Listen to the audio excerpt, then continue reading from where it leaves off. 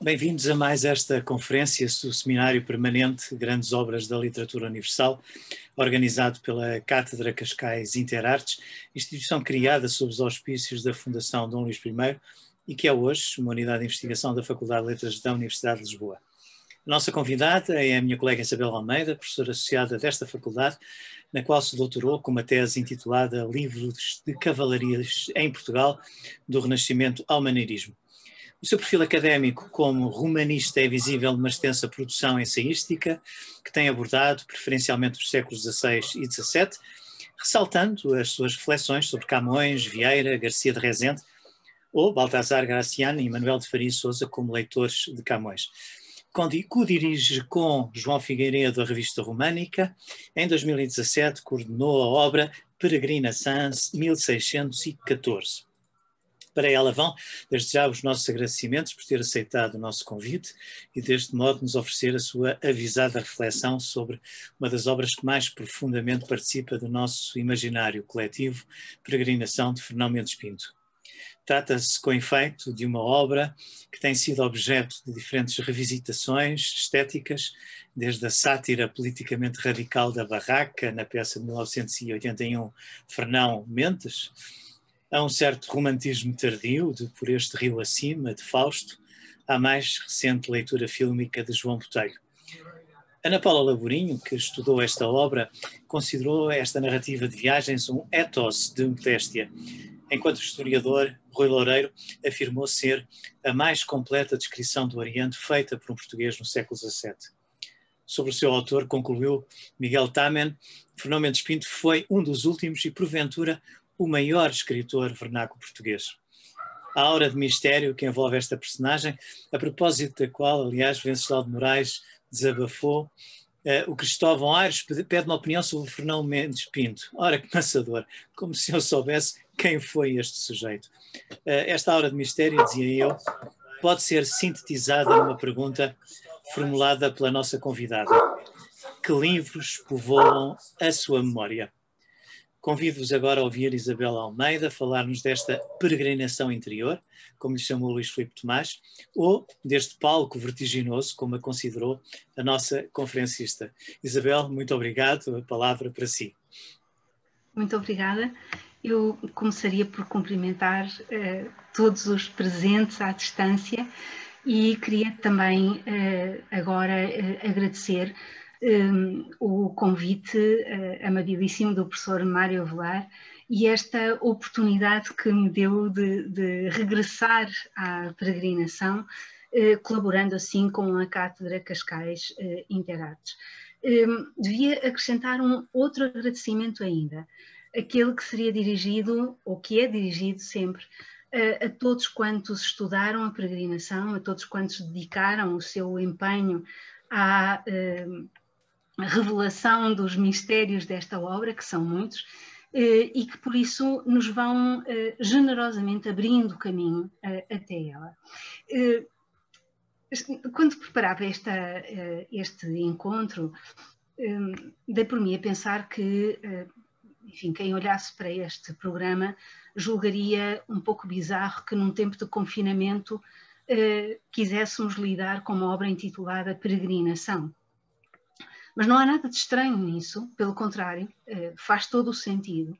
E se lermos a peregrinação, se lermos ou se relermos, não importa se estamos a descobri-la ou a revisitá-la, eh, se lermos a peregrinação, compreenderemos muito bem aquilo que o cardeal Tolentino de Mendonça uh, escreveu a propósito de Camões e dos seus Lusíadas. É que a literatura oferece-nos oportunidades, formas de desconfinamento e só por isso já é bom poder uh, contar com a peregrinação de Mendes Pinto.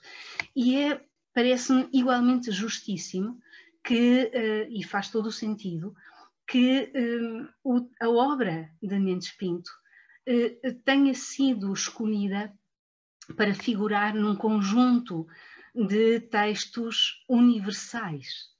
Que, este, que esta narrativa de Mendes Pinto eh, tem eh, qualidade, força para se erguer acima de fronteiras, eh, prova-se muito facilmente.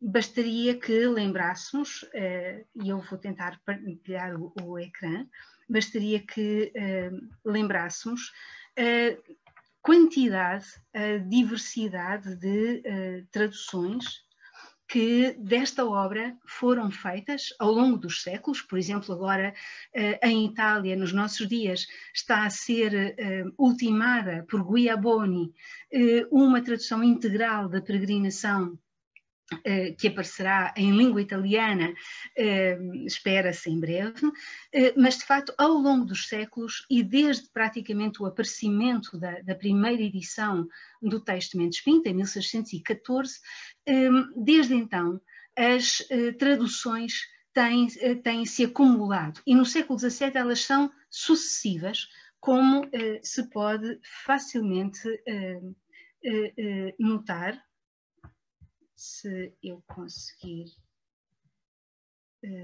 Sim. Um, peço desculpa. Qual é o. Eh, não estou a conseguir passar as imagens. Ela está, nós estamos a ver. Temos ainda a, a primeira. A, a, imagem número 2. E, uh, Tem que clicar em cima. Ah, Exato. Perfeito. Era. Um, falta de, de, de, destreza da minha parte, peço desculpa. É, olha, se, se, virmos, se virmos esta coleção de portadas, perceberemos muito facilmente o que foi a, a capacidade que a peregrinação de Mendes Pinto teve de atravessar fronteiras, como dizia. Em 1620 eh, surgiu prontamente a tradução castelhana feita por Francisco Herrera Maldonado, eh, é a história oriental das peregrinações.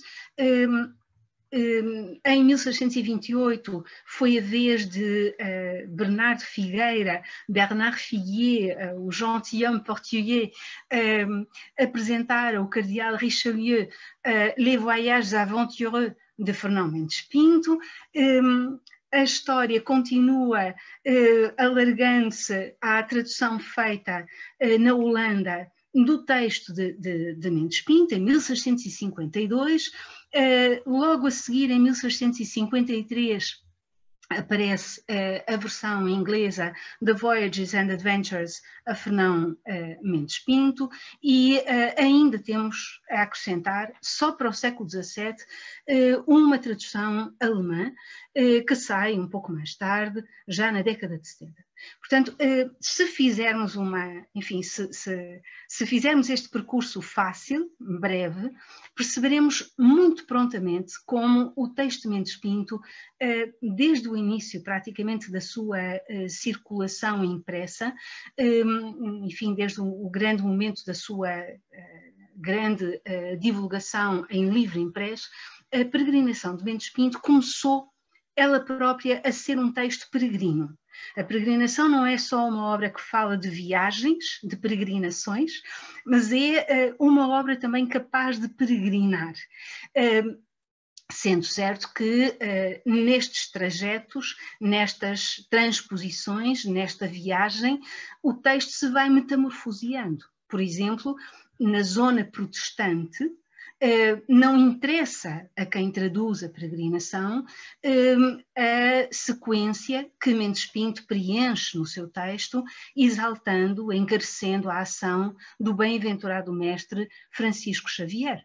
Uh, isso volatiliza-se, por exemplo, na tradução inglesa, manifesto, como na neerlandesa, como na alemã, não convém nesse contexto, e o texto, de facto, vai sofrendo formas, no fundo, aquilo que é o resultado de modos de apropriação, de adequação também àquilo que o tradutor entende ser o desejo uh, do, seu, do seu público ou aquilo que considera adequado ao contexto em que se move.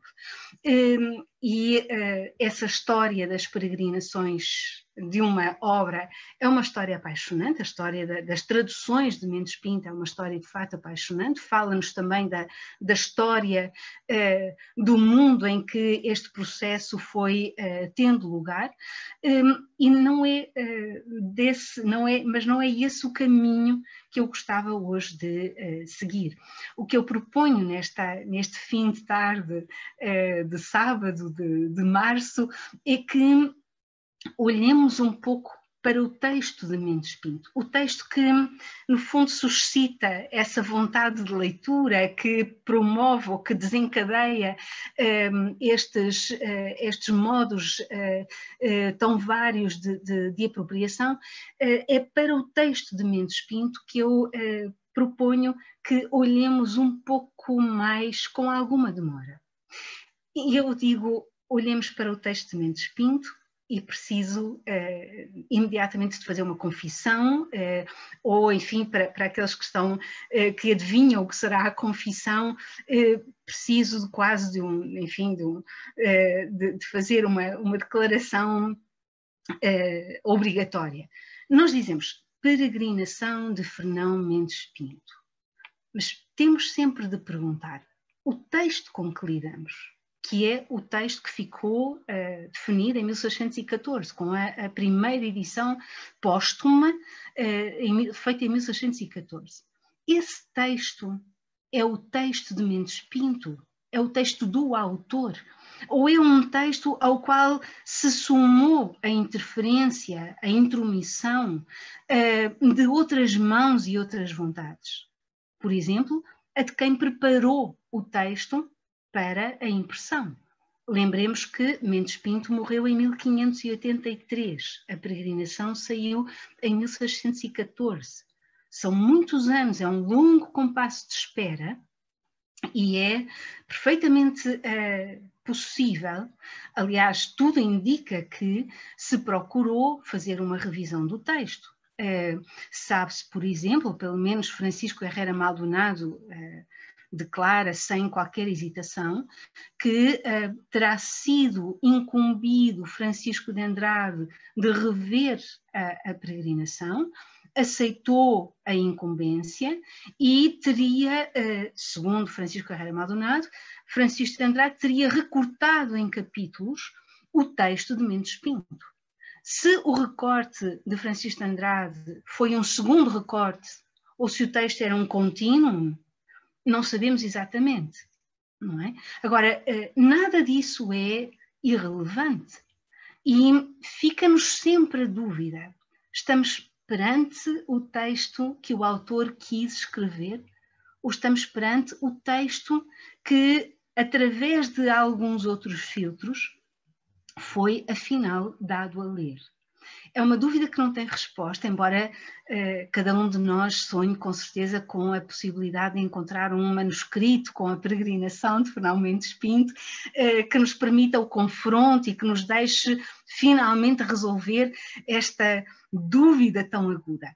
Mas há falta, há falta de uma tradição manuscrita esclarecedora, o que podemos fazer é olhar para esta obra resignarmos perante a dúvida e uh, tentar compreender uh, o texto que Mendes Pinto apresenta como um largo e assombroso, como se fosse um largo e assombroso exercício de uma felicíssima memória. Felicíssima no sentido que a palavra tem nesta época nesta época, séculos XVI, XVII, não é? Uma, uma fértil memória, uma abundante, copiosa memória. Ora bem, e eu uh, gostava de ler a entrada da uh, peregrinação. Uh, vou pedir que façam de conta que não há nada à volta e que se concentrem apenas nas palavras que nós achamos quando abrimos o livro Peregrinação, dito de Fernão Mendes Pinto. Escreve-se assim, ou diz-se assim: Quando às vezes ponho diante dos olhos os muitos e grandes trabalhos e infortúnios que por mim passaram, começados no princípio da minha primeira idade e continuados pela maior parte e melhor tempo da minha vida, acho que com muita razão me posso queixar da ventura, que parece que tomou por particular tensão e empresa sua perseguir-me e maltratar-me, como se isso lhe houvera de ser matéria de grande nome e de grande glória. Porque vejo que não contente de me pôr na minha pátria logo no começo da minha mocidade, em tal estado que nela vivi sempre em misérias e em pobreza, e não sem alguns sobressaltos e perigos da vida, me quis também levar às partes da Índia, onde, em lugar do remédio que eu ia buscar a elas, me foram crescendo com a idade os trabalhos e os perigos. Mas, por outra parte, quando vejo que do meio de todos estes perigos e trabalhos, me quis Deus tirar sempre em salvo e pôr-me em seguro, acho que não tenho tanta razão de me queixar por todos os males passados, quanto a de lhe dar graças por este só bem presente pois me quis conservar a vida para que eu pudesse fazer esta rude e tosca escritura, que por herança deixo a meus filhos, porque só para eles é minha atenção escrevê-la, para que eles vejam nela estes meus trabalhos e perigos da vida que passei no discurso de 21 anos, em que fui 13 vezes cativo e 17 vendido nas partes da Índia, Etiópia, Arábia Feliz, China, Tartária, Macassar, Samatra e outras muitas províncias daquele oriental arcipélago dos confins da Ásia, a que os escritores xins, siamês, gueus e léquios nomeiam nas suas geografias por pestana do mundo. Como eu de antes espero tratar muito particular e muito difusamente, e daqui por uma parte tomem os homens motivo de se não desanimarem com os trabalhos da vida para deixarem de fazer o que devem, porque não há nenhuns, por grandes que sejam, com que não possa a natureza humana, ajudada do favor divino, e por outra, me ajudem a dar graças ao Senhor Omnipotente por usar comigo da sua infinita misericórdia, apesar de todos os meus pecados. Porque eu entendo e confesso que deles me nasceram todos os males que por mim passaram, e dela as forças e o ânimo para os poder passar e escapar deles com vida. E tomando por princípio desta minha peregrinação, e o texto continua. Ora bem, quem escreve assim sabe o que fazer com as palavras, sabe o que está a fazer com as palavras. Um dia o professor Jorge Alves Osório, da Universidade do Porto, ehm, fez uma observação que eu nunca mais esqueci. Ele dizia: Já reparou, nós lemos este preâmbulo da peregrinação e é tão tentador lembrar aquele começo de um soneto famoso do poeta Garcilaso de la Vega, do poeta uh, espanhol do século XVI, ehm, que diz precisamente: Quando me paro a contemplar mi estado, y a ver los pasos por donde me ha traído, hallo, según por donde anduve perdido, que a maior mal pudiera haver llegado. Nós lemos o, o texto de Garcilaso e, de facto, a afinidade com este começo da peregrinação é flagrante. Uh, ora, Mendes Pinto conta-nos, diz que nos conta muitas coisas, mas não nos diz nós percebemos que também guarda muitos segredos. Por exemplo, Mendes Pinto nunca nos diz onde, quando, com quem, como aprendeu a escrever assim.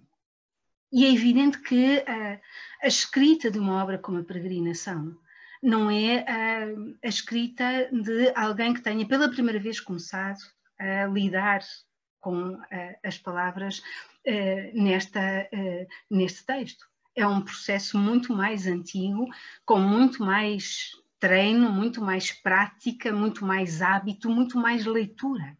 Mendes Pinto não nos conta como aprendeu, mas é evidente que nós não estamos perante uma rude e tosca escritura. Não há leitor que acredite em Mendes Pinto, por muito que ele jure, por muito que repita, que é de uma rude e tosca escritura que se trata. E, de facto, uh, assumir a própria máscara humilde de quem faz uma rude e tosca escritura, uh, assumir uh, esta máscara já em si é um gesto revelador da consciência do domínio de códigos retóricos. E é uh, digna de nota a produtiva ambiguidade que Mendes Pinto um, uh, consegue imprimir, consegue um, transmitir no seu uso de uma palavra-chave como peregrinação. Peregrinação é um termo que ecoa, que se renova, que surge por várias vezes ao longo deste texto. E peregrinação é uma palavra que pode significar, e até se estivermos muito perto de um valor etimológico, uh, diremos que é assim: uh, peregrinação significa viagem, significa deslocação a terra estranha ou por terra estranha. Uh, mas peregrinação é também o caminho que se faz passo a passo numa demanda espiritual. E escrever este texto, escrever esta peregrinação, um, no fundo, escrever este texto sobre o caminho de vida nunca certo, se posso agora citar Camões, que é um autor uh, que não está de forma nenhuma nos antípodas de Fernão Mendes Pinto, uh, mas que é uh, um contemporâneo e alguém que poderia ter interessantíssimas conversas com Fernão Mendes Pinto. Mas dizia então, escrever um texto sobre o caminho de vida nunca certo é também uma forma de peregrinar, é, rio da memória acima, não é? é? como quem deseja tornar legível, tornar inteligível aquilo que sem esse esforço é, parecerá ou pareceria mero absurdo ou pura confusão. Um, o que eu quero dizer é que uh, escrever esta peregrinação para Mendes Pinto parece ser uma tentativa de encontrar um sentido para uma vida, ou, uh, como Mendes Pinto dirá mais adiante no seu texto, sentido para a peregrinação desta vida. Uh, num sentido, num, num, se quisermos colocar, uh, no fundo, a possibilidade de leitura num plano universal para o qual creio que tudo concorre aqui. Mais adiante, no, na, no, seu, no seu texto, Mendes Pinto vai buscar outra. Desculpa, estou. Um, vai outra vez uh, insistir na, na, ideia de que escreve para os filhos. E diz assim, eh, eu tento eh, pôr aqui diante dos olhos de todos agora, como eu entendo, como já atrás tenho dito, não foi outro senão deixar isto a meus filhos por carta de ABC, para aprenderem a ler por meus trabalhos, não me deu muito escrevê-lo assim toscamente como eu o soube fazer, porque entendo que o melhor destas coisas é tratá-las eu da maneira que a natureza me ensinou, sem buscar circunlóquios nem palavras alheias com que apontuasse a fraqueza do meu rude engenho, porque temi que se isto fizesse, me tomassem com o furto nas mãos e se dissesse por mim o rifão comum, de onde vem a Pedro falar galego? Repare-se na expressão por carta de ABC. É, é evidente que a peregrinação não é uma cartilha por onde se aprenda a soletrar. Não é um texto por onde a iniciação no, na, na, na, leitura uh, se fizesse, pelo menos facilmente, admitamos, pela nossa experiência, por aquela que uh, uh, vemos à nossa volta. Um, a expressão carta de ABC e a insistência em dizer que escreve para os filhos é muito curiosa. Porque Mendes Pinto ou pelo menos ao longo da peregrinação, surgem outras expressões que indicam uma, eh, enfim, eh, deliberada tentativa de eh, estabelecer ligação com um público bem mais amplo. Mendes Pinto fala nos curiosos, nos que isto lerem, nos dotos até, e, enfim, de um modo muito, muito, muito concreto, sabe-se que Mendes Pinto entregou o manuscrito da sua peregrinação à Casa Pia das Penitentes de Lisboa, esperando, com o rendimento da, da publicação da obra, ajudar a essa, enfim, a, a, a, sustentar essa obra assistencial. Portanto, Mendes Pinto não, não, não escreveu a peregrinação apenas para os seus filhos, é, e é interessante que, mas é interessante que o diga e que uh, fale da, da, do uso da, da, peregrinação como se ela pudesse funcionar como uma carta de ABC. Se pudermos, uh, enfim, uh, ser um pouco mais livres na, na, na interpretação deste passo ou, ou na, na, aplicação que damos a esta expressão, diríamos que de facto, a, a peregrinação pode funcionar como uma carta de ABC. Não necessariamente para um círculo doméstico para os filhos, mas para aqueles que lerem. E é uma carta de ABC para a leitura do mundo. É um texto que nos eh, estimula a considerar que o mundo é para ser lido e que importa refletir sobre essa mesma necessidade. Hum, eu digo isto e vale a pena eh, recordar que, como é, hum, eh, como é eh, evidente no texto de Mendes Pinto, hum, a ênfase posta nos, nos enganos de que ah, o, caminho está cheio. É? Um, há, um, enfim, por várias vezes se faz notar que, por exemplo, a interpretação de sinais, dos gestos, de expressões, de ações, essa interpretação é falível. Uh, muitas vezes uh, uh, erra-se naquilo que se julga ser o valor dos sinais que uh, o mundo uh, nos está uh, a apresentar. Um, e fazendo isso, Mendes Pinto insiste também num outro ponto. As palavras não são apenas os sinais que permitem leituras desencontradas e enganadoras ou enganadas, mas são também as palavras que são semente de engano. As palavras, como diz Mendes Pinto, enfeitam e afeiam. Como dizia o padre António Vieira, que aliás terá sido um leitor de Mendes Pinto, as palavras pintam e despintam. E Mendes Pinto eh, insiste nesta ideia. As palavras podem compor da mesma figura, do mesmo facto, da mesma ação, uma eh, imagem completamente distinta. Ora ornando, ornamentando, embelezando, ora afiando, como diz Mendes Pinto. E uh, sempre nesta. Uh, Uh, vincando esta, este ponto, Mendes Pinto é também muito insistente ao frisar que os homens são capazes de enganar. São useiros e vezeiros na arte do engano.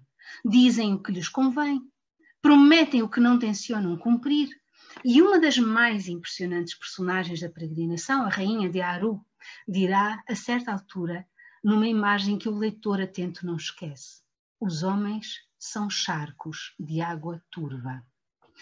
Uh, ora, Mendes Pinto acentua na peregrinação que fala de um mundo diferente, distante, vasto, até um mundo que está ainda em parte por descobrir. Acentua também o mundo é imenso e vário, os homens, no entanto. E é, é impressionante vermos como, nesta narrativa, Mendes Pinto encontra maneira de mostrar que há figuras que a milhares de léguas de casa continuam a comportar-se e a, enfim, a, a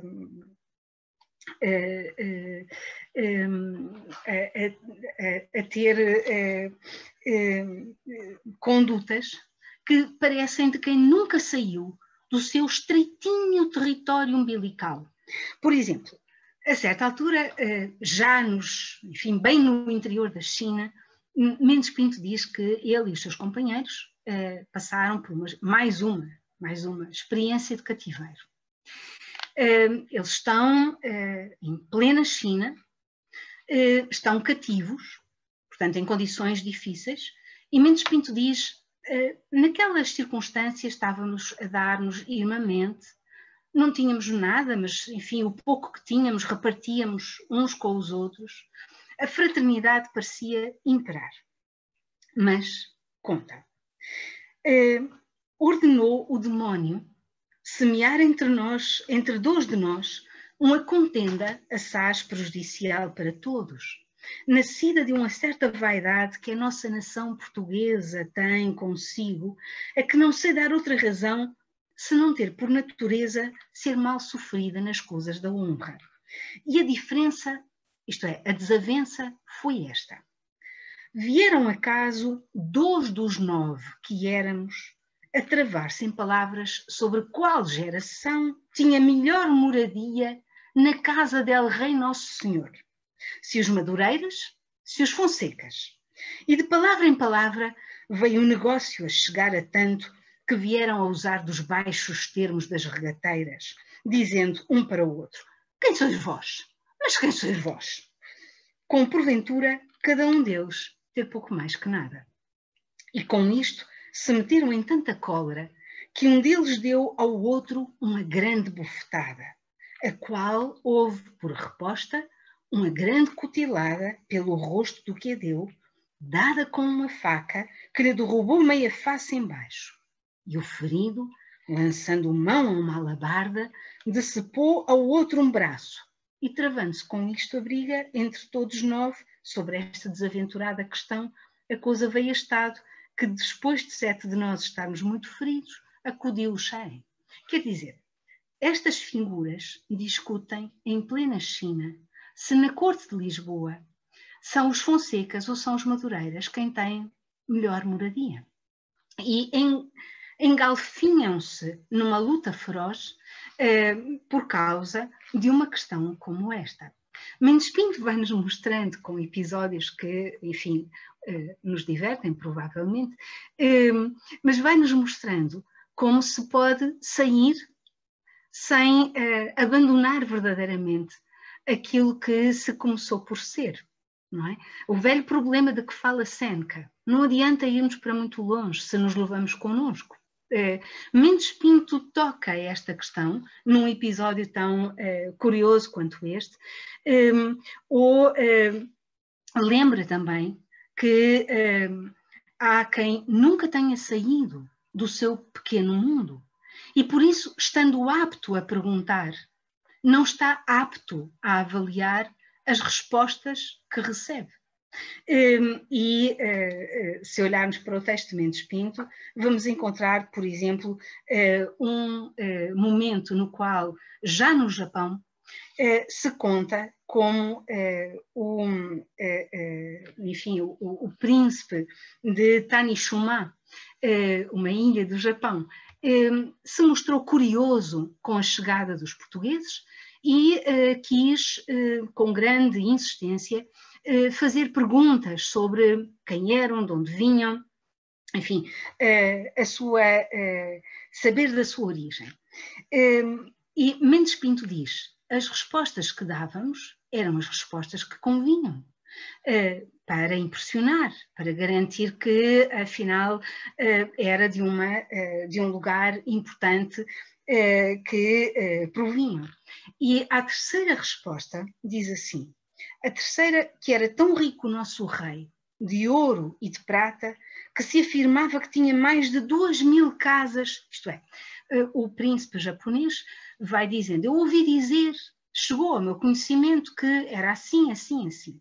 E uh, o terceiro ponto que destaca é este. Ouviu dizer que era tão rico o nosso rei de ouro e de prata que se afirmava que tinha mais de duas mil casas cheias até o telhado e a isto respondemos que no número de duas mil casas não nos certificávamos, por ser a terra e o reino em si tamanho e ter tantos tesouros e tantos que era impossível poder-se dizer a certeza disto.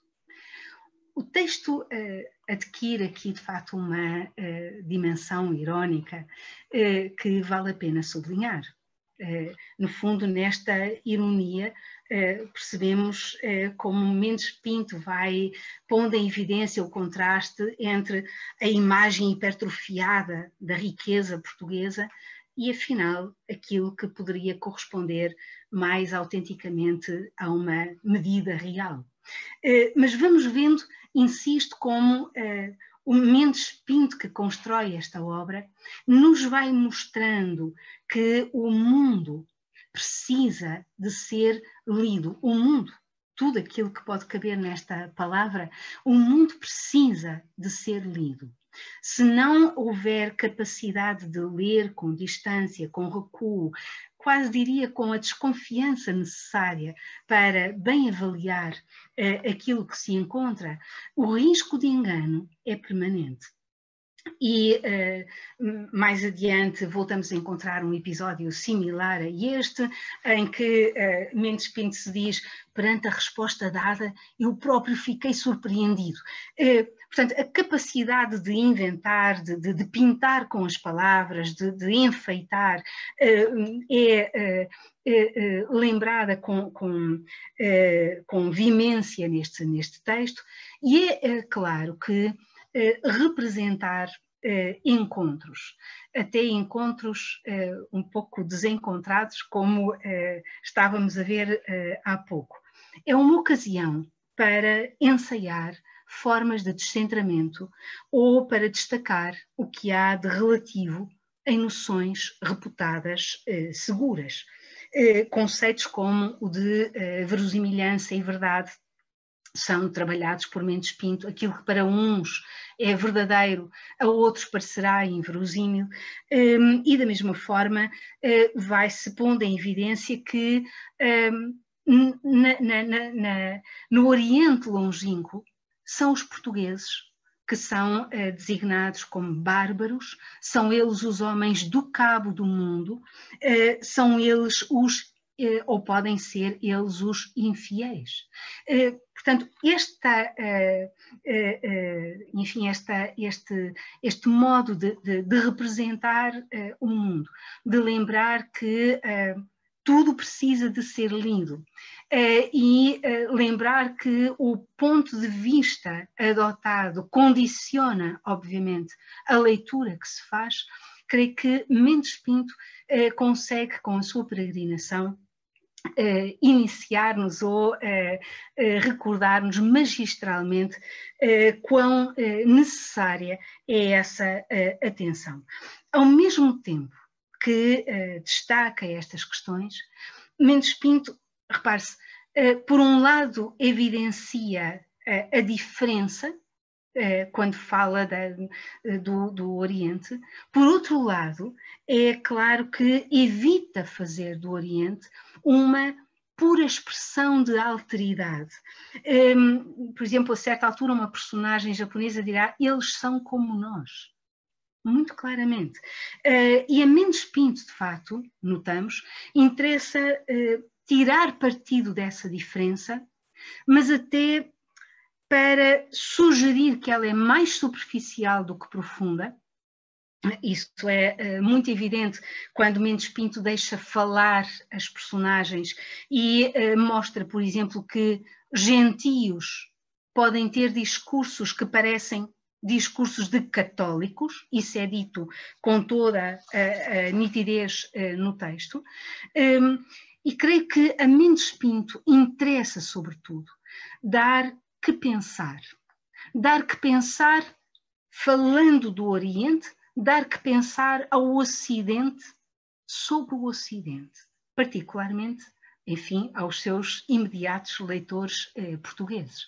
Daí o recurso àquilo a que o professor António Jassaraiva e o professor Eduardo Lourenço chamaram a crítica indireta. Personagens outras vão dizer aquilo que eh, afinal, eh, pode ser uma tremenda crítica dirigida ao mundo de cá. Eh, e daí, igualmente, a projeção de traços utópicos, que é flagrante, Rafaela Dintino já se ocupou desta matéria, eh, na descrição de uma cidade como Pequim. a propósito da China, Mendes Pinto lembra desde a criação dos patos, que literalmente se faz a toque de caixa, até à organização de uma ordem uh, social uh, e económica, um, enfim, a China aparece como uma nova utopia.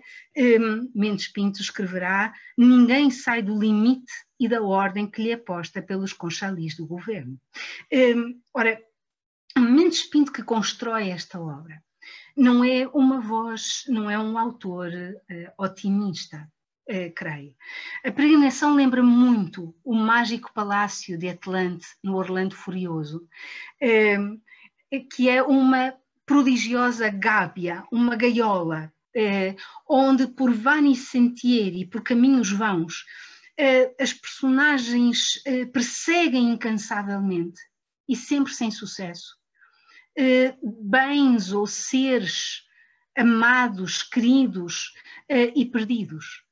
Eh, e de facto, como se fosse uma, uma miragem que os leva a um movimento incessante, mas um movimento sempre também marcado pela frustração, pelo, pelo fracasso. Ora, na peregrinação, essa é a lei. Se nós pensarmos um bocadinho, nos mares e nas terras do Oriente, do Extremo Oriente, constantemente se perde o que se desejou. Uh, o, o, até o que por momentos se alcançou. Porque vem um tufão, porque vem uma tempestade, porque vêm corsários, porque há um acidente, uh, tudo se perde. E, uh, de facto, Mendes Pinto apresenta-nos no seu, enfim, no seu, na sua obra, dizia razões para lembrarmos quão importante foi, neste tempo, uh, se um. Peço desculpa, porque é que este não funciona? quão importante foi neste tempo a noção de fortuna Uh, e uma noção de fortuna que não era uh, geralmente lembrada, uh, enfim, para recuperar o otimismo dos clássicos, ou pelo menos um certo otimismo dos clássicos que viam na fortuna a grande adjuvante dos audazes, é? mas para fazer da fortuna aquela, aquele poder misterioso, sombrio, associado à mudança, que pode ser, eh, eh, enfim, entendida também como, eh, muitas vezes, um movimento de queda, da prosperidade para a adversidade, embora o movimento da fortuna permita também a recuperação, que é exatamente o que vemos no texto de Mendes Pinto. Não é? Perde-se e volta-se a tentar, e perde-se e volta-se a tentar. E tudo isto num eh, eh, num, num contexto em que a instabilidade da fortuna, a instabilidade que é sempre representada na tradição emblemática eh, pela esfera, não é? Muitas vezes a fortuna está como vemos nesta eh, pintura atribuída, eh, atribuída a, Giovanni Bellini, é, é um, quase uma fortuna arpia, hum, assente em eh, monstruosa, não é? com, o, enfim, os seus pés garras assentes em, em duas esferas. Hum, é o sinal, é a imagem de uma instabilidade que nada pode, nada consegue controlar. E se pensarmos na, na, num autor próximo de Mendes Pinto, em Camões, que falava da fortuna como soberba, inexorável, importuna, um, uh, falar da fortuna como Mendes Pinto fala, ou como Camões fala, é falar também de uma condição humana que se vê, de certa maneira, cativa neste mundo, sem liberdade plena, porque sobre ela se abate afinal, o poder, uh, enfim, uh, imponderável de uma força que nada parece, nada nem ninguém parece poder recusar.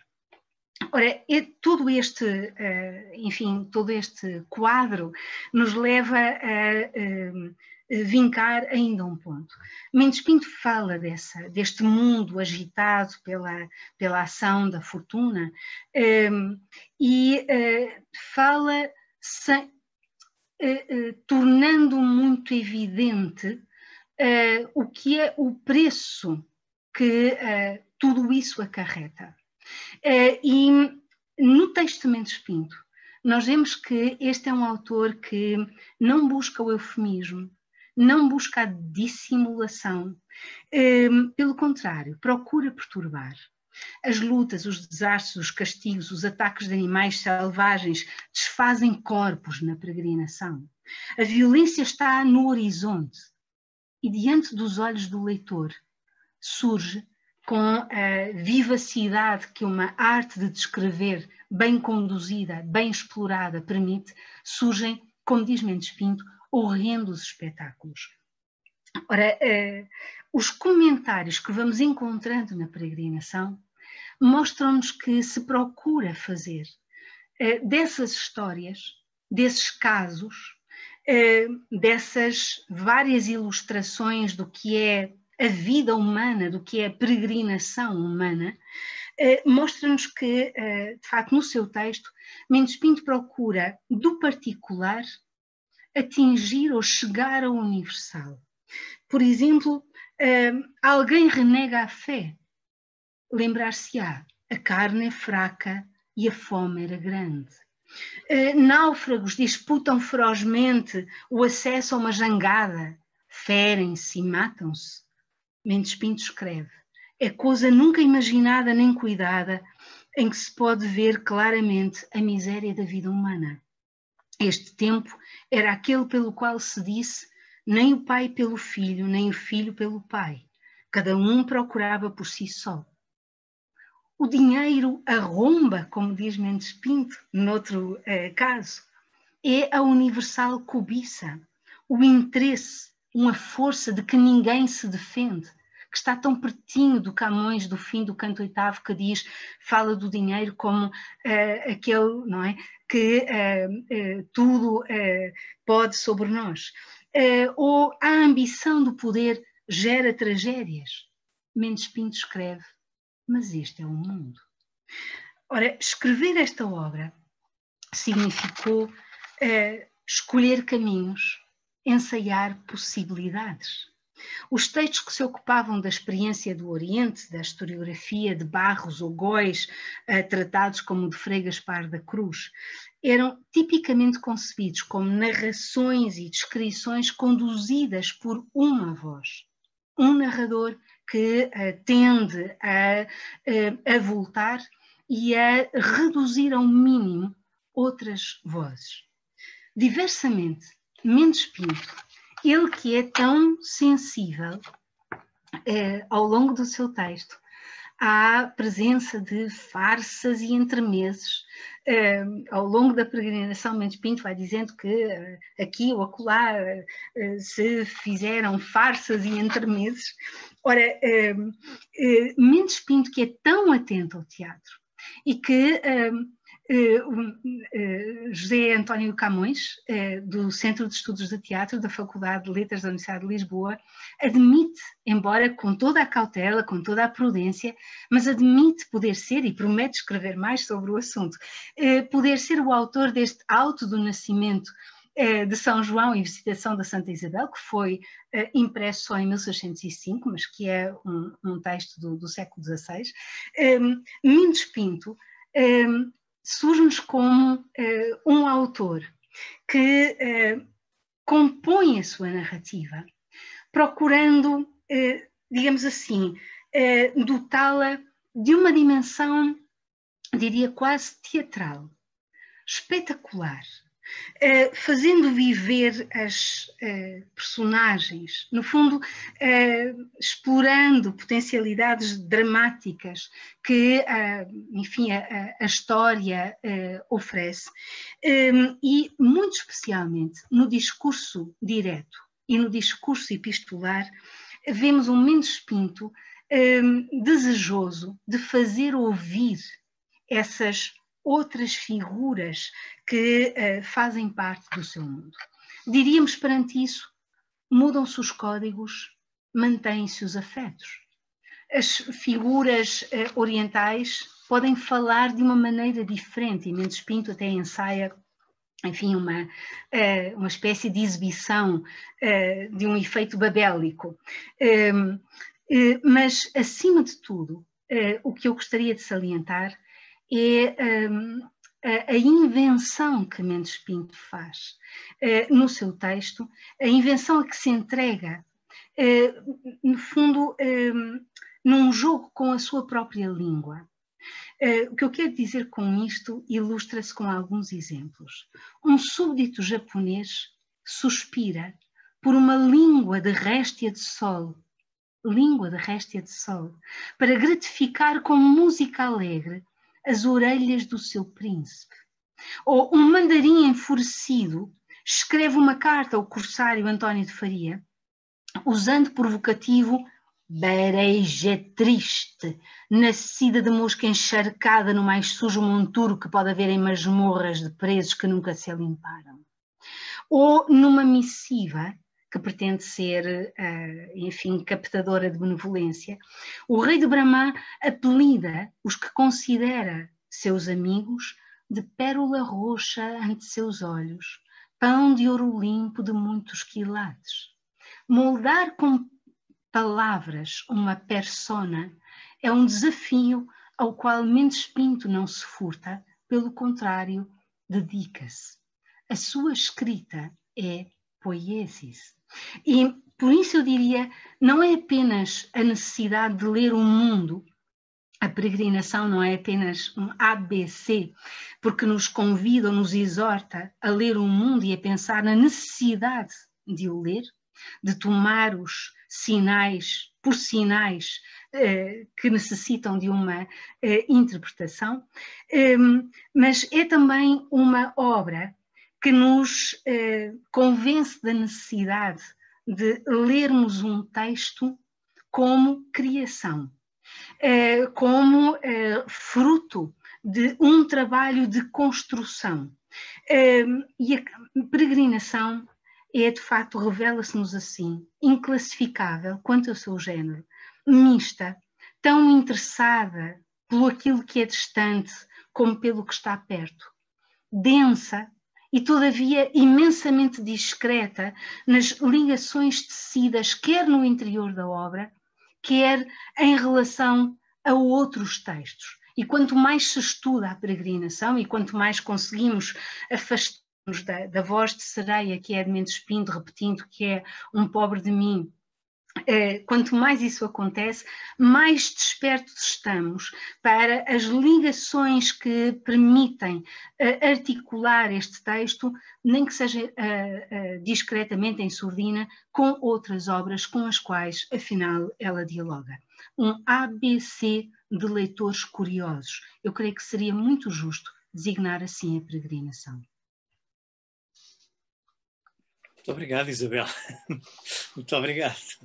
Um, eu, eu não, se uh, as pessoas que, que, que estiverem interessadas em, em, intervir, eu peço que, que utilizem um, aquele portanto, espaço do chamado bate-papo para, para colocar eventuais questões. Eu penso que a Isabel depois ficará também com acesso direto a essas, a essas, a essas, a essas perguntas, aliás, porque, eh, como podem ver, eh, embora no ecrã apareça Mário Avelar, não, é óbvio, não foi o Mário Avelar que esteve a falar, foi a Isabel Almeida que esteve a falar, mas foram questões ah, estritamente foram questões de arranjos meramente técnicos de última hora que nós tivemos que fazer, portanto não, não há aqui qualquer processo de heteronímia, portanto nem qualquer persona.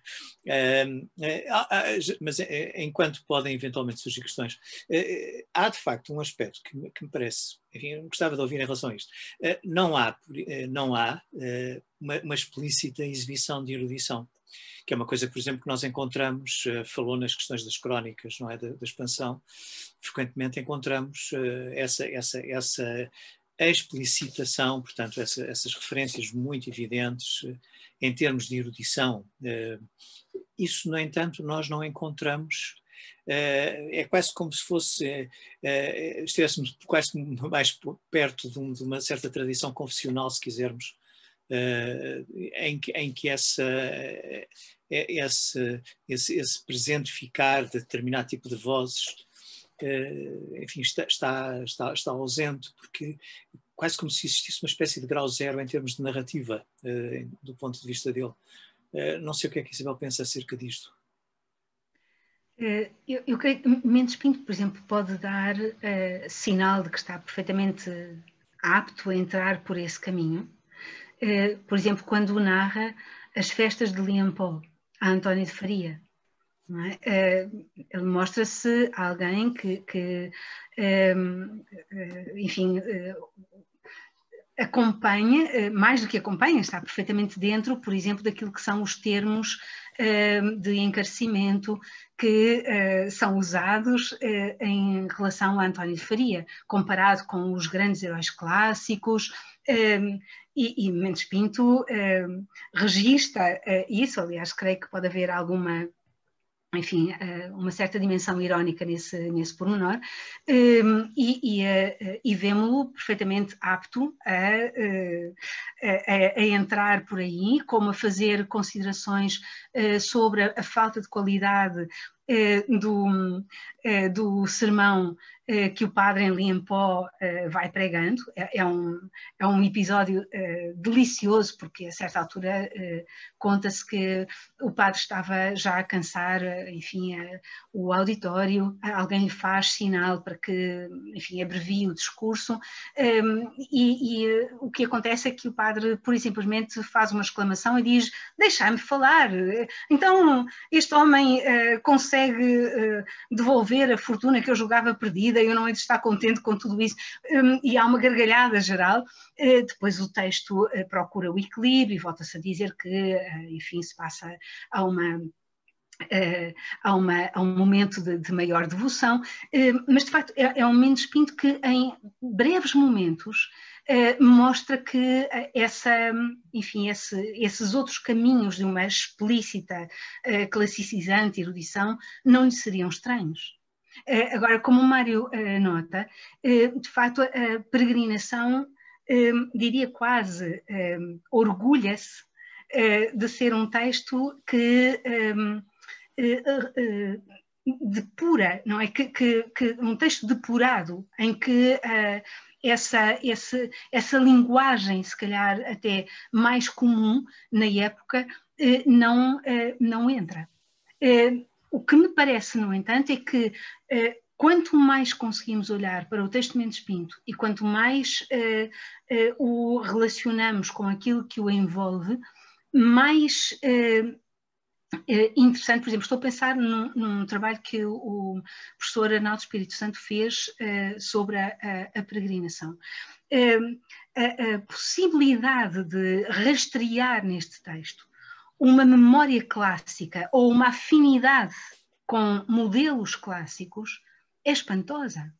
Um, e, e, não estamos a forçar o texto a querer à viva força associá-lo a qualquer coisa que lhe é estranha. Uh, tudo indica é que, por exemplo, a, descrição da China como uma utopia. É perfeitamente possível que Mendes Pinto conhecesse nem que fosse de uma forma indireta, através de João de Barros, conhecesse a utopia de Thomas More. E uh, dir-se-ia que uh, no seu texto uh, ele tira partido dessa memória que não, da qual não faz alarde, ou só o faz na, na relação intertextual que realmente acaba por estabelecer. E, portanto, é um texto que, de facto, se, se se for lícito aquilo que tentei dizer, é um texto que nos eh, faz também perceber que eh, com ele aprendemos como a leitura precisa de ser uma leitura perscrutante, que não se contente com eh, a primeira letra, com aquilo que é apenas manifestado no texto. Há muito mais para lá disso e o texto Mendes Pinto, na sua discreta forma de se relacionar com outros, uh, dá-nos a esse propósito uma estupenda lição. Já, já, agora, eu não sei, a Isabel, se entretanto reparou, portanto, houve várias manifestações uh, de apreço pelo, e de agradecimento pela sua, nomeadamente a Cília Rodrigues, obrigada. Isabel Pires de Lima, e uh, curiosamente fez uma citação, portanto, fez agora uma convocação de alguém que, que também está presente, que é o professor Arnaldo Espírito Santo. Portanto, uh, esse, é, é, um, um, de facto, uma, um, por exemplo, uma das coisas que eu acho que é, que é, que é interessante é que nós encontramos, uh, por exemplo, um determinado tipo de ancoragem uh, em relação a, a factos, a, a, situações muito concretas que nós conhecemos através de outro, através de cronistas. Uhum. Sei lá, em relação ao Nuno da Cunha, por exemplo. Sim. Estão, estão ali as, as referências, isto é, uh, é possível fazer, inclusivamente, determinado tipo de datações e de, e de cronologias um, e, e, todavia, uh, no discurso dele, uh, a elipse, por exemplo, funciona com. Uh, em determinado momento parece pelo prazer de contar história. Não sei se isso faz algum sentido. Sem dúvida, por exemplo, alguns dos episódios que se tornaram não por acaso antológicos na peregrinação. O caso do menino chinês, o caso da uh, noiva roubada eh, se posso dizer desta forma, são personagens que parecem existir só para terem aquela entrada em cena e depois esfumam-se. Ninguém sabe. Uh, o menino chinês, uh, qual foi o destino do menino chinês? Desapareceu. Nunca mais Mendes Pinto fala dele, mas ele teve aquele momento em que disse a António de Faria: não adianta bolir os beiços, uh, falar em Deus uh, apenas com a boca, sem o ter no coração. Uh, e, portanto, a mesma coisa com a noiva chinesa, que é uma personagem a quem se deve na peregrinação uma espantosa carta de amor, um daqueles exemplos em que de facto, percebemos como Mendes Pinto é capaz de quase, enfim, não digo eh, reinventar, mas, mas explorar uh, o que pode ser a língua portuguesa, ou o que pode ser na língua portuguesa a expressão de afetos, uh, indo buscar uma retórica que passa por ter o tom exótico de todas aquelas, aquelas imagens que uh, no uh, discurso oriental, Mendes Pinto uh, uh, insiste em fazer caber. Um, portanto, são, de facto, dir-se que há, há claramente no texto de Mendes Pinto essa dimensão ficcional que, que, torna a peregrinação qualquer coisa de, de assombrosamente duplo. Não é? Por um lado, como diz o, o Mário, há Uh, enfim, há uma possibilidade flagrante de relacionarmos esta obra com a tradição historiográfica. Eu creio que Mendes Pinto, de facto, uh, quis muito que isso acontecesse.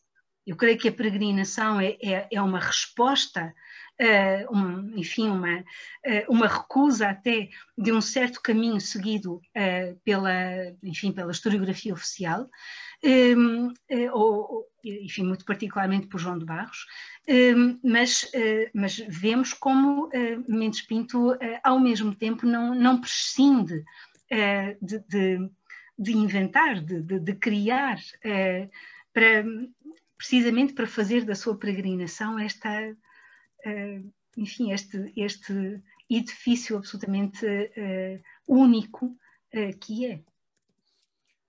É, eu estava aqui neste momento, já agora, eh, eh, apenas eh, só para chamar a atenção que há, há de facto um comentário da Ana Fogaça relativamente, não sei se a, se a Isabel já, já teve a ver, que está no, no bate-papo, o, Arnaldo Espírito Santo tinha, tinha levantado a mão, mas eu, eu, eu, eu lamento, eu creio que, pelo menos, acho que nós não temos uh, de, não está ao nosso dispor a funcionalidade para dar voz, dar a palavra aos, aos participantes, porque, pelo que eu pedia ao Arnaldo, caso, caso queiras intervir, se faz favor se podias uh, escrever no, no bate-papo, porque nós de facto não podemos, uh, enfim, uh, temos uma estrela que é quem está a falar e que a Angélica Varandas também já mandou beijinhos enquanto que adorou, Obrigada. portanto, sei. Uh, mas infelizmente nós não podemos, podemos apenas uh, ver as questões que são, que são colocadas em termos escritos, portanto. Uh, António Sais, delegado também. Muito obrigado, António, pela, pelo.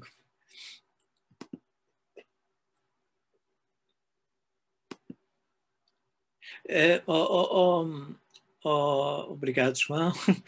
Uh, ah, sim, temos aqui uma questão da, da, da, da Angélica. Não haverá também uma herança medieval nesse fingimento que o autor nada sabe? É um topos retórico muito comum entre os autores medievais que fingem a sua ignorância. É, é um topos uh, medieval e continua a ser um topos uh, ativo no, no, no, tempo em que Mendes Pinto escreve. Não é?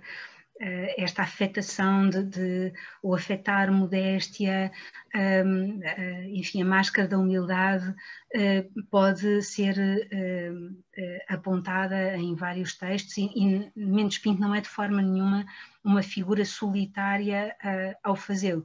Uh, o que acontece na peregrinação de especial é que, de facto, uh, Mendes Pinto diz uh, isto é uma rude e tosca escritura, insiste nessa qualificação da, da, da sua obra, Hum, e como notava uh, o professor Maria Velar ainda há pouco, de facto uh, opta por um registro de grande sobriedade. Uh, não, não há, não há o, o alarde, a exibição, que, pelo contrário, será timbre de outros autores e de outros textos. Mendes Pinto opta por um registro diverso, eh, mas insisto, eh, estou hum, plenamente convencida disso. Quanto mais eh, olharmos de perto para a peregrinação, acho que durante muito tempo disse, vimos apenas, aliás, nem, se viu inteiramente o texto, não é? Porque Mendes Pinto, no final da, da peregrinação, mostra claramente que, enfim, o, o, aquele que começa por ser o pobre de mim, uh, abandonado como cindeiro, é? como se diz na, numa das primeiras folhas ainda da peregrinação, um, ehm, acaba tendo um escravo uh, China, um, ehm, é uma das figuras, um dos mercadores prósperos que acompanham uh, o padre Francisco Xavier na sua tentativa de penetração no Oriente. Portanto, ehm, se lermos a peregrinação com cuidado até o fim, vemos que o próprio, enfim, pequenos sinais, o facto de Mendes Pinto depois ter um pretendente a uma recompensa na, na, por parte da, da, da rainha, um, enfim, há, toda uma série de o acesso que tem ao passo, à corte, um, tudo isso nos mostra que não estamos a falar de uma figura absolutamente menor, não é? Hum, mas hum, realmente é, é muito é, é, é, é, muito impressionante a, entrada da peregrinação, aquela imagem do pobre de mim, sempre perdendo tudo, reduzido a, a, uma miséria extrema. E creio que isso levou muitos críticos a não aceitarem sequer que a rude e tosca escritura pudesse ser outra coisa. Levou muitos críticos a acreditar quase piamente, que Sementes Pinto tinha dito que era uma rude e tosca escritura, assim seria. Eh, quanto mais conseguirmos distanciar-nos da, enfim, do, do, da atração ou do que há de imensamente sedutor né, no retrato que Mendes Pinto si vai uh, traçando, uh, mais vamos compreender uh, o que há, sublinho, de denso, de complexo, de, de de facto, de, de, palpitante também nesta, nesta obra. Não é? Porque é esse diálogo com outros que um, nos mostra, uh, de facto, a, a, impressionante capacidade de Mendes Pinto de assimilar uh, uma tradição fértil e de, com ela, construir qualquer coisa que é singular. Mendes Pinto é capaz de compor espantosas, por exemplo, cenas de. de um, eu, eu, eu, pensei ler um pedacinho, mas, mas eu não consigo, comovo-me com aquilo. Uh, e, portanto, deixei uh, na sombra. Mas há, há, um momento em que se fala na, na, no suplício de duas vítimas que são uh, condenadas por um tirano, uma figura de tirano. Para Mendes Pinto, a contraposição rei-tirano é crucial. É?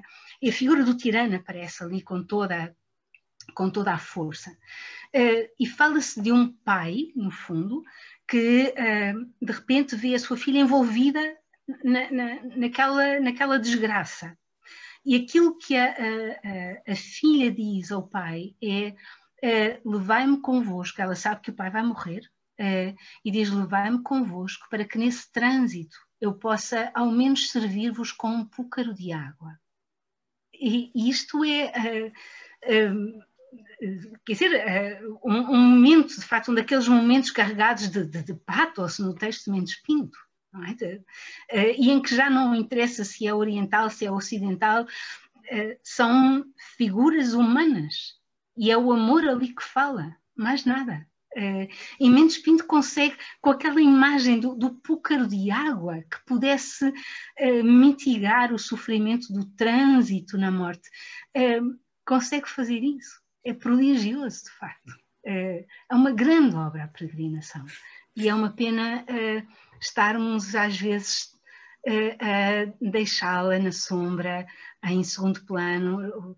creio que já não se lê no, no na escola secundária, uh, e a pena que, que um texto assim uh, vá ficando mais mergulhado no esquecimento, embora saibamos que os clássicos resistem ao tempo e revivem e, resistem, e, e renascem, enfim. não trocamos a esperança. Obrigado, Isabel. Entretanto, nosso colega, o professor Arnaldo Júlio Santos, já, já mandou, portanto, os cumprimentos, no ah, fundo, basicamente isso, e agradecer e dar-lhes parabéns pela, pela sua intervenção. Um, e, mas uh, eu propunha-lhe que a própria Isabel lesse uh, neste espaço que é o QA, portanto, as, as perguntas e respostas, um, de facto, um, uh, há aqui eh, há duas intervenções, basicamente, de Cília Rodrigues, que coloca um programa para uma diplomacia alternativa atenta ao conceito de graça divina, uma pergunta. E temos o António Camões Gouveia, que faz, enfim, uma deixa uma série de reflexões, uh, uh, não sei se Isabel, portanto, muito rapidamente tentar ver, para além das saudações que entretanto também chegaram da, da nossa colega Cristina Pimentel, e os parabéns para si, um, e eu, enquanto a Isabel lia, eu, eu recordava que esta, esta palestra fica fica disponível na internet, portanto, quem, quem quiser uh, pode inclusivamente passar palavra e dizer, fazer essa referência. Uh, aproveitava também, enquanto a Isabel está, está a ler, porque o António ainda escreveu um pouco, portanto, uh, que, que na, portanto estas, estas, estas conversas, estas conferências acontecem sempre nos segundos sábados de cada, de cada mês e que em abril eh, teremos uh, um outro colega muito querido, o António Sousa Ribeiro, que vai falar também de uma grande, agora, de uma grande obra, sim, mas do século XX, uh, da, da, Montanha Mágica, e, e, pronto, seguir-se-ão até ao final do ano, a sequência será depois Moby Dick, depois Don Quixote, depois Hamlet, depois Livro do Desassossego, Lazarilho de Tormes e, finalmente, Ulysses de Joyce. Portanto, este é o, o, plano até ao final do ano. Para o ano que vem já temos aí o Sir Gawain and Green Knight, o Étranger de Camus, já temos as Vinhas da Ira, enfim, é, é, felizmente grandes obras não nos falta e, e, muita gente que continua a ler, a ler e a estudar as grandes obras, como a, como, como a Isabel e que de facto nos, nos, proporcionou estes momentos não só de, de, de, descoberta, de conhecimento, mas acima de tudo uma coisa que, que, que, a mim me impressiona sempre, que é de facto ver alguém falar com esta paixão, não é só com a inteligência, é com a paixão também, isto é, isto é uma alegria. Obrigado Rita Queiroz de Barros, que também agradece, lhe agradece, e agora eu acho que já acabou de ler o que o António escreveu, não é?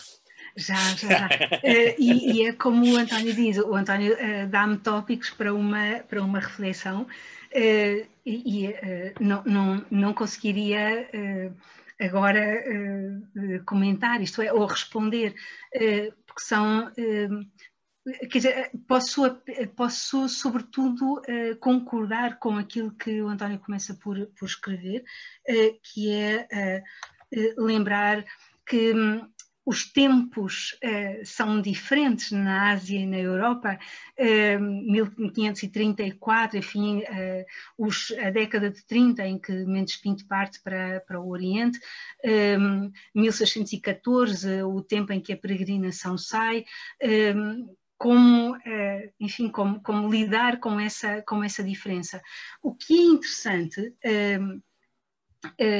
o que é interessante parece-me, é vermos como, apesar das, enfim, de, de possíveis decalagens, discrepâncias, desencontros, diferenças, o que é interessante parece-me é notarmos também como em 1614 e a, a, edição da peregrinação terá sido demorada, não é? Porque nós olhamos para as licenças eh, que foram atribuídas ao, ao, ao texto eh, e vemos que eh, são ainda é, há um tempo longo, cerca de 10 anos, que é preciso eh, esperar para que o processo eh, se complete a, a revisão pelos censores um, e a publicação efetiva da, da, da obra.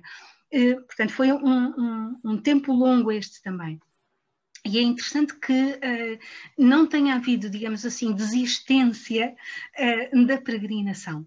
Um, para mim será um sinal, eu creio que uh, podemos entender isso como um sinal de que o texto mantinha uh, o seu, uh, a sua, enfim, a, a, sua eficácia, a sua, a sua própria atualidade um, e convém lembrar também que no século XVII o interesse pela, pelo Oriente, da, pela produção de discurso sobre o Oriente, não só estava imensamente aceso na Europa, basta pensarmos, por exemplo, a, a França claramente está lançada numa corrida, publica tudo quanto há sobre, uh, sobre a China, por exemplo, uh, e, um, por exemplo, um Manuel de Faria Souza não deixaria também de se juntar a este, a este grupo. Portanto, apesar de todas as enfim, de todas essas uh, diferenças com a mudança, a transformação uh, histórica que, Uh, implicam, o texto da peregrinação parece ter sido considerado suficientemente vivo para continuar a merecer postumamente, já não era Mendes Pinto a, a, a querer publicá-lo, continuou a merecer o empenho de figuras, hoje não conseguimos exatamente reconstituir essa história, mas de figuras que quiseram tornar público o texto de Fernando Mendes Pinto, ou pelo menos o texto que dizemos ser o texto de Fernando Mendes Pinto. Muito obrigada pelas, uh, por todas as observações. Vou ficar a pensar nisso, porque as perguntas do António são sempre perguntas muito estimulantes e muito difíceis.